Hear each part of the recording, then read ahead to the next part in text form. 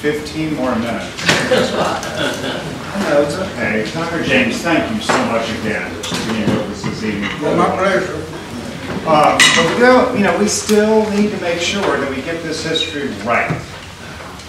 And so we, one of the questions that you have is to look at how we tell that story now. And you've got, a- you've got a map that you've been given that is supposed to be what we're supposed to be doing, and and we've asked you to identify what's missing on the map that- that most people get today. Quite frankly, the map that you received, the map that if you walk into the Nature Center today, that is the map that you would get. I will tell you that that map will be out of print. In fact, if you pick lots of them tonight, they'll be out of print fast. Um, And so what was exciting was to look at what you suggested was missing in the map. And I'm going to give you some homework, a little bit of homework tonight, because we are working on, uh, with the Slave Trail Commission, putting together a route that will combine a lot of things in downtown. And I'll tell you what the parameters are so that you can kind of think about this when you take this map home and kind of go, okay, what, um, We want to, to do this as a giant public art project sometime, I think, in April. Um, TED Talks are coming to Richmond, and we'd like to announce at TED Talks that the day following TED Talks, we'll be on the street, actually marking something through Richmond that will combine to create a 10K walk.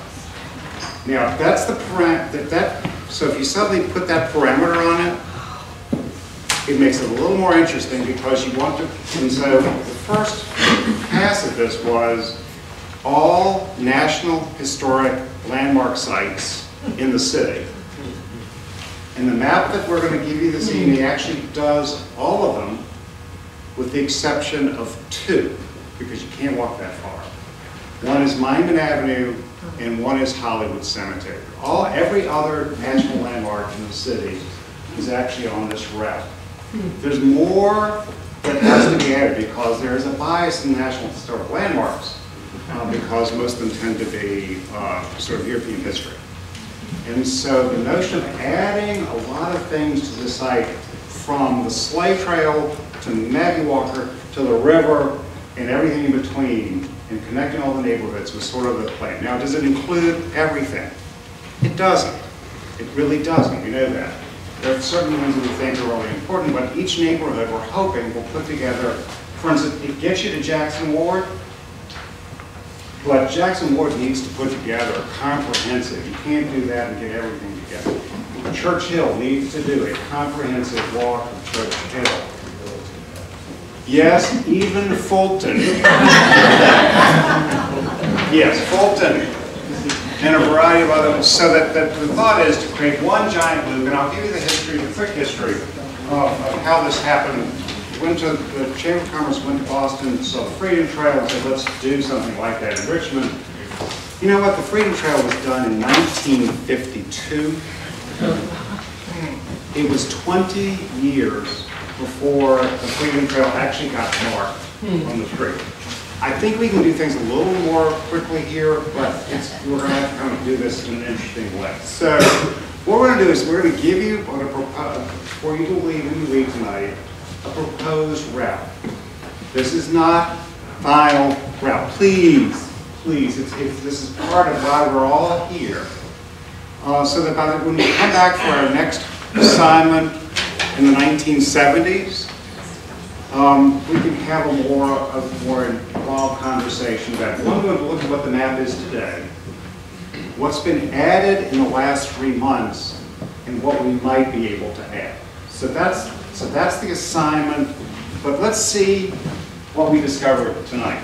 So what I did was took all of your input and then very quickly um, tried to go through and look for the major themes that emerged from what everybody in this room said. So the first, um, first part of it was uh, what the major themes were that happened in the 1960s. So these are things that were said more than once, right? That's the theme. So it's not every individual response. But the things that came up over and over and over again that we need to make sure are part of the way we tell our 60s history.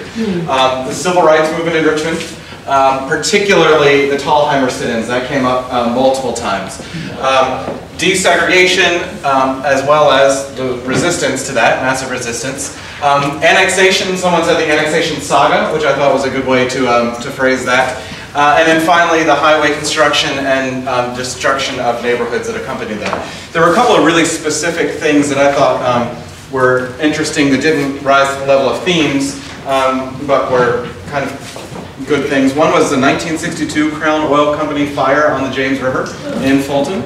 I didn't know about that, that particular one personally. Um, and then also the um, flood in 69, Camille, that was the, uh, the kind of basis for uh, tearing down Fulton, the premise for tearing down Fulton. And then there was somebody put a, posed a question, which I thought I'd pose to everybody, which is, um, did black folks patronize the legendary Santa? No. Y'all, y'all can answer that one yourselves. Yeah. Do you have a picture with Santa Claus, I have a, I don't, I don't know if it's who lost this, but I've taken a picture with the Santa Claus. and- Was it? I, I worked at Santa's helper in, um, sixty-eight, sixty-nine, seventy. Okay. Um, Interesting. All right. So someone got the question answered, hopefully. Uh, but these are the major themes that came up around um, what needs to be told about Richmond's history in the 60s. Um, the part about what's, um, why are we not working? There we go. What was missing off the map? All of these things had more than two responses, and I put them in order of their occurrence. So the number one thing that people said is missing is the slave trail. Um, number two, African burial ground. Number three, Lumpkin's jail. Um, the Jefferson Hotel is not on that map, and a bunch of you noticed that, picked up on it. Um, the Hippodrome, uh, specific neighborhoods, a couple people named specific neighborhoods, but there was, uh, I think, three or four people who said neighborhoods should be marked on this map. And then finally, um, three folks said the uh, site of the Eggleston Hotel should be marked on there. Yeah. Excuse me, I just, you know, just for posterity's sake, um, we have this thing, those of us who do Kwanzaa, one of the principles is Kujichagulia, which is self-determination, which means that you have to take responsibility for naming yourself. And when you call the slave trail, it's making it go into the memory of everyone as being that these people were identified as slaves. And I would prefer if everyone would embrace the name, the Trail of Enslaved Africans. Hmm. Ashe. Uh, So please, when you write it, just think about the fact that I am representing everybody that's in that ground, and a lot of people who are still living, that we reject the name slave trail. Absolutely, and I'm, I'm uh, very familiar with that conversation. I believe that there is, the, the official commission is called the Slave Trail. and so Well, I part- disagree with Yeah, no, that. I'm I'm just, uh, so I'm just putting this out there for part of the, where that conversation needs to go is, there is an official body that has adopted that name, and that the labeling is coming from that official body. And so that conversation um, needs to get to the folks We that don't have that. to, just Yeah. because they say it doesn't mean that this is not represent. we Community. Right, I'm saying I represent the, the, the discourse coming out of the community, and they represent the political structure, Right. and there's a difference, and I'm saying, in this form, I don't see any government officials, therefore. Call it what you want, No, th- and thank you for raising that um, for the group's attention. Um, And I will say that that's probably one, one of the um, things about putting it on this map that's going to be a challenge, because part of our framework for the conversation was what's going on the map. And that's going to be driven partially by the politics and the officials, but I appreciate you bringing that to the attention. Um, And in fact, the African burial ground, there were a number of different names that were um, put out there for that one. I collapsed them all into that particular one, trying to honor what I've heard a number of people say about, about that, so I went with that name, but absolutely, that is a, it's a, it's a complicated question. How do we honor the people that went before? Ask Um, the people who are of the descendant community what they want. Absolutely. And we're saying that we would like to be known, known as that being the trail of enslaved Africans. And if you disregard that, after we've spoken publicly, then you are no longer serving the people and you're out of order. Thank you. Um, The must-see, um, and I apologize, I can't edit my slide after what you've just said. Um, So and this is in no particular order, but these are the things that were, that people said more than once was on their must-see list. So uh, the James River, in particular Belle Isle, uh, and then related sites, Canal Walk and Flood Wall. The museums, uh, the ones that were named multiple times, uh, are up there. MOC is the Museum of the Confederacy.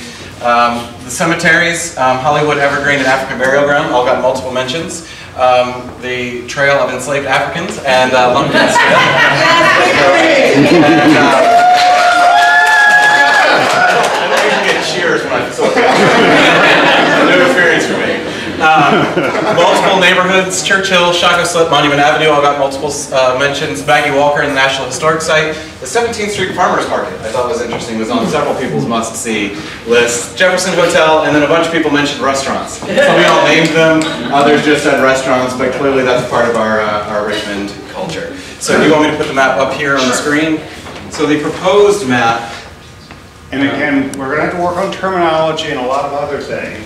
And I, I hope that that can spur a bigger conversation, particularly in the African American community, about how the vocabulary. Because, want to get it right, but we need guidance. And I think that, that is a tough one. Hmm. And so, please help us as we move forward on this on how, what's, what's the language that we use because it is going to be an interesting conversation. The important part at this point is to make sure sites are on the map. And so the map that we're going to pass out, please don't get crazy. I have a question about, um, uh, Ralph White. you know, Yes. he Just, um, you know, retired and everything. He had this booklet that was like a map of, uh, Shockoe Bottom and in relationship to the, uh, uh, the industry that took place in, um, Shockoe Bottom. So I don't know, how- how- was that referenced at all to pinpoint some of the, because I know when you go down to Shockoe Bottom, there's building, there's little markers, and it says, maybe this building was that, there's a whole bunch of stuff that was going on. We had a map that pointed out, like, corner to corner, what store was what, like you could buy insurance or bounty hunter or whatever. One of the, the, the new pieces of research that's just been done by Maurie McInnis, an incredible book that really begins to look in some interesting ways at identifying, I think, I'm going to go out on a limb and I'm going to be, whatever I say, I'm going to get in trouble, I think. But I think by focusing just on lumpkins, we really deny the size and scope and magnitude of trade.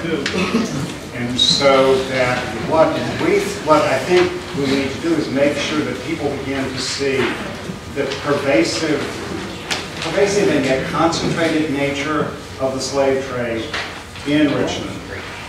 And that, that's hard to do on a map. But I'll tell you that, I'm gonna give you, I'm gonna one, but that, you're absolutely right, that, that I think that there needs to be enhancements to the, to both, to all of our, the way we talk about Richmond's history. And this is just a proposal to sort of get people to think about, if you- if you're bringing someone to town, what would you do with them? And I'm gonna just kind of do a quick list of the things that you'd see along the way, and then we'll, then we'll reconvene. Uh, when, we'll reconvene in the seventies. Um, but, but in, in, other than those big landmarks, you've got the canal, the Christopher Newport Cross, the Holocaust Museum, the site of Libby Prison, Tobacco Row, the Henrico, the old Henrico Courthouse, the Church Hill Historic District, the Elmira Shelton House, the site of Elizabeth Van Lew's house, the Poe Museum, the Reconciliation Monument, Lumpkins Jail, Shockoe Slip, St. Paul's Church, the site of the Freedmen's Bureau, the site of the Freedmen's Bank, the Civil Rights Monument, Memorial Hospital, which I think is an important thing, that we, the hospitals in this neighborhood, the James Monroe Building, the site of St. Philip's, the Library of Virginia, the new and old City Hall, the Maury House, the Lee and Grant House, Black History Museum and Cultural Center, Linden Road, Ken Valentine House, Bolling Haxall House, uh, Richmond Public Library, the Ward Cassidy House, um, and so that this is a pretty comprehensive 10K walk, given the, the sort of parameters that we're working with. Does it get everything in every neighborhood? No, because you gotta, it's like you draw a line from one to the other, you can only get so far. Um, but we, these are sort of, this is the beginning version, and would love to, when we reconvene in 30 days, uh, to continue the conversation, but Here's a really interesting opportunity. About 2015. When all those folks start coming to Richmond, we have a way to say, because what happens now is someone goes to the visitor center and there's no really, if you ever try to navigate this city, um, it's impossible whether you're walking. We'd like to encourage people to actually walk it because suddenly uh, you understand the city better. You can understand the stories that Dr. James has told us, even about actually walking that Broad Street. You know, it's not about driving by in your car. And I think that, that getting people onto the street really make a difference. Walking by the side of Lumpkin's jail, walking across the bridge, those are things that make a real difference in your experience versus um, the, the zoo. So, um, thank you for coming this evening. Um, we're going to check roll so that there will be a prize at the end for those who attend all five. Um, if you have thoughts between now and then, or can't make the next one, please just email me. We'll have some of my cards at the front evening too. Are you giving something away this evening too? Oh, we are. Don't leave yet, there are prizes. While, um, while we're getting the prizes set up, if you could take your keypad and pass it towards the center aisle so we could collect those, that would be very helpful. Um, I just wanted to keep everyone keep in mind that there's a lot of really important issues that were raised today, um, about Richmond and the issues that keep coming up about race and class and loss of issues and how to get involved. Um, there's something called the Virginia Equals Assembly, I'm not sure if you've heard about it. Um, it actually takes place at one seven two zero West Eighth, which are the Indian Turnpike Pike, and, um, sorry, the council. Um, it's kind of close to sixty-four east. Um, it's really convenient to get to a lot- in a lot of people's neighborhoods. There's gonna be a lot of speakers, a lot of organizers in the communities throughout Richmond, a lot of your neighbors, a lot of people you know. It really be great if a lot of people get to know your neighbors. And There's gonna be a lot of work on issues that affect all of us living in Richmond. If you can come out to it, that would be great. Um, so today's Saturday, um, and it starts at eight, registration, it goes all day, come to as much as you can, there's gonna be a lot of great workshops, a lot, a lot of people for you to learn a lot, registration is free. Thank you. And the winner of the Hollywood Cemetery book, Ron Alpern. All